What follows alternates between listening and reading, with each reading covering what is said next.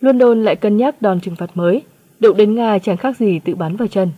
Nước Anh đã khởi xướng một vòng xoáy trừng phạt trả đũa đối với Nga cùng sự tham gia của Mỹ và đông đảo các quốc gia trong khối EU. Lần này, đòn trừng phạt kinh tế của Anh sẽ nhắm vào trái phiếu Eurobond của Nga tại các trung tâm lưu ký chứng khoán quốc tế tại châu Âu như là Euroclear và Clearstream.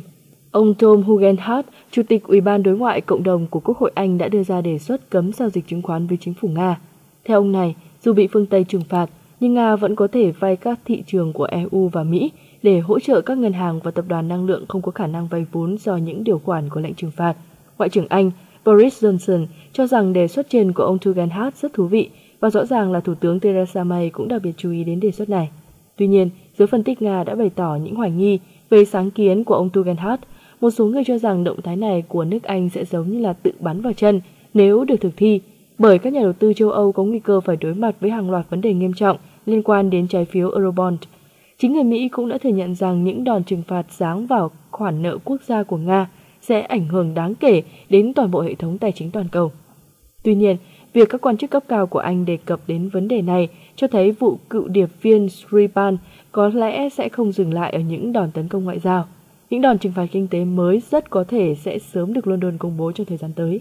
Nhà phân tích tài chính Yevgeny Koran đã chỉ ra mối đe dọa sau đây. Khoản nợ quốc gia của Liên bang Nga không đáng kể nếu tính theo phần trăm GDP. Tỷ lệ khoản vay nước ngoài chiếm chưa đến 50% trong số đó. Tuy nhiên, chính phủ Liên bang Nga chỉ sử dụng ngân sách nhà nước để hoàn trả các khoản vay trong lộ trình, chứ không chịu trách nhiệm về các khoản nợ công khác. Tất nhiên là trong trường hợp xảy ra điều nằm ngoài dự tính thì mọi người vẫn không phải chi trả bất cứ xu nào. Có lẽ, những người đứng đầu Quốc hội Nga sẽ coi tình huống này là mối đe dọa đối với an ninh quốc gia. Tuy nhiên, đề xuất này cũng có nhiều bất cập đối với London, như việc dần mất đi vị thế là một trong những kinh đô tài chính thế giới. Tất nhiên, họ sẽ mất một chút thời gian để nhận ra điều đó, nhưng khi họ tỉnh ngộ thì ván đã đóng thuyền và mọi sự đều đã quá muộn. Đặc biệt, hiện tại nhiều tổ chức tài chính đã lên sẵn kế hoạch chuyển trụ sở đến Frankfurt của Đức. Như vậy là London sẽ không thể tiếp tục điều hòa dòng chảy tài chính bao gồm cả luồng tài chính đến Nga do những điều khoản của Brexit. Họ đang đứng trước nguy cơ mỗi bước đi sai lầm đều có thể dẫn đến hậu quả khôn lường.